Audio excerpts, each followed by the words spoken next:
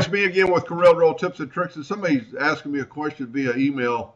When they use, they've got an eight-sided polygon, 18-sided, I mean. When they grab the shape tool, they can move the node over there, and it's like snapping to things. And they said it's that was what was bugging them. They can't get too close. Evidently, they're trying to make a saw blade, turn it into a curve, and it just one, it doesn't start moving right away. So you've got snap to on, snap to object. And in this case, you don't want it. So go to view, snap to, and turn snap to object off. Now when you grab the shape tool, it doesn't snap to it, hence the, hence the uh, name. So we're going to make a saw blade real quick. We're going to just grab a couple of nodes, right quick, and turn them into a curve. And then you can kind of see how it automatically starts moving our line where a while ago we were having trouble with it moving the line. And um, there's kind of a saw blade. I'm not very proud of that.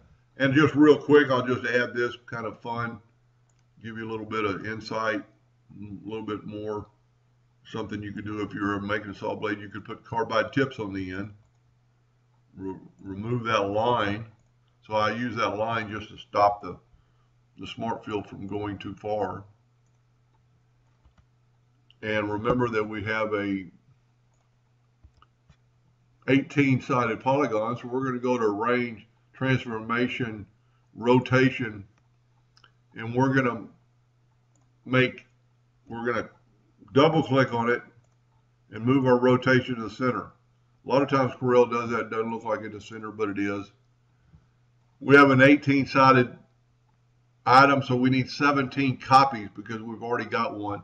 And we're going to rotate it 20 degrees because 18 divided by 360 is 20. I was going to say 36 divided by 18 is 2. Same thing.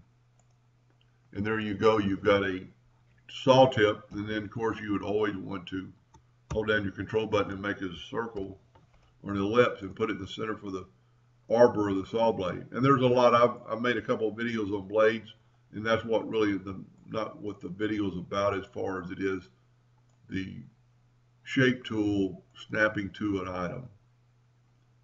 Anyway, hope that helped a little bit. Thank you for watching.